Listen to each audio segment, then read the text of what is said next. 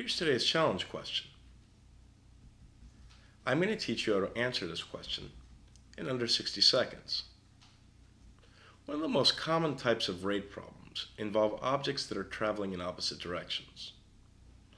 The main concept is the distance between the two oppositely traveling objects is diminishing at a rate equal to the sum of the rates of the two moving objects. So let's return to our problem. Since Jeff is traveling at 30 miles per hour and Tim is traveling at 20 miles per hour, the distance between them is closing at a rate of 50 miles an hour. So our rate of distance change is 50 miles an hour. Now we want to substitute our given distance, 120 miles, and our rate, 50 miles per hour, into the rate formula to find the time it takes for Jeff and Tim to meet. Recall that rate equals distance over time.